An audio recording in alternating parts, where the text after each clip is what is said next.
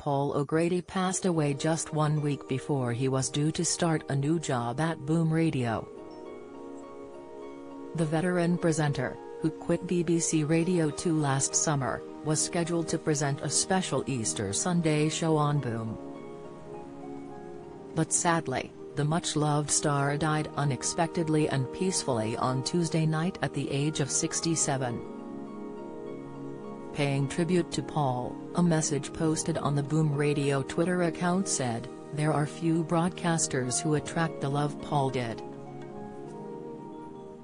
The response to the last show was enormous, listeners felt he'd popped around to their house over lunch. That was his gift.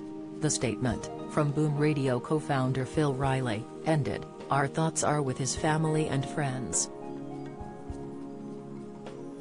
Paul and his producer pal Malcolm Prince had worked together on a Christmas show at Boom Radio. And he was due to start a new job at the radio station next month, where he would have a regular Sunday slot, like he used to have at the BBC.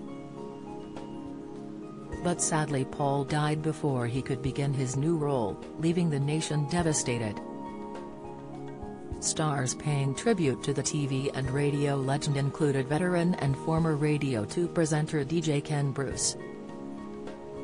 Ken, who will present a new mid-morning show on Bauer's Greatest Hits Radio from April, said, I was always amazed by how easily Paul slipped into the style of radio presentation, because, you know, he was a comedian and an actor, and the two don't always work together. But Paul came in, and it was as if he'd been in a radio studio all his life. Sir Elton John was another big star paying tribute to Paul following his death, and recalled how he hosted his and future husband David Furnish's stag do. Writing on Instagram, the singer said, saddening news to hear of Paul O'Grady's passing this morning. A brilliant entertainer, wit, and supporter of LGBTQ rights and the fight against AIDS and HIV who I was fortunate enough to spend time with including when he hosted at David Furnish's and my stag party before our civil partnership in 2005. Thank you for all the joy you brought into the world, Paul. You went places nobody had gone before and we will miss you very much.